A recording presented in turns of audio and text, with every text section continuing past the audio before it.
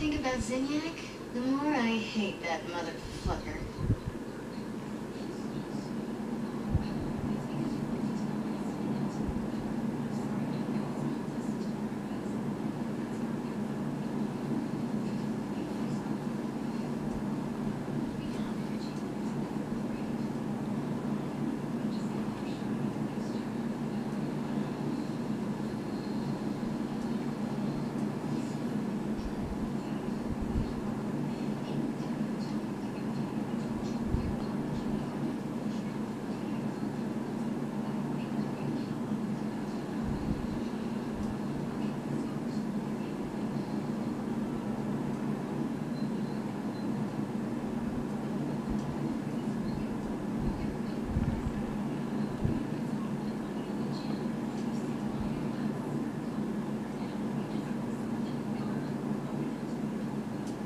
Long it took to build this place.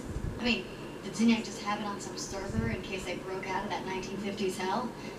There's some big questions left unanswered here.